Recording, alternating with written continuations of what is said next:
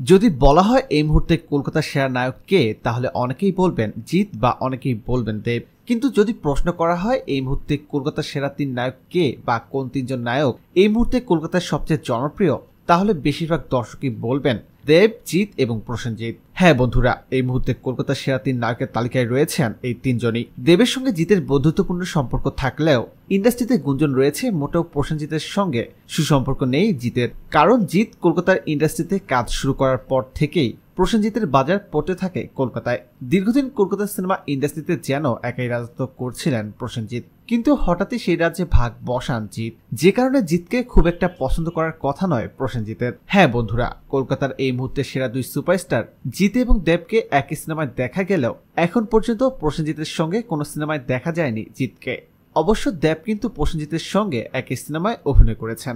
Tollywood industry ঘুরে জানা যায়, জিৎ এবং প্রসেনজিৎ কাউকেই অনেক বোঝানোর পরেও একই সিনেমায় অভিনয় করার জন্য রাজি করানো যায়নি। সে ভেতরে ভেতরে যাই হোক না কেন সামাজিক যোগাযোগ মাধ্যমে কিন্তু তাদের সবার মাঝেই একটা বন্ধুত্বপূর্ণ ভাই ভাই সম্পর্ক রয়েছে।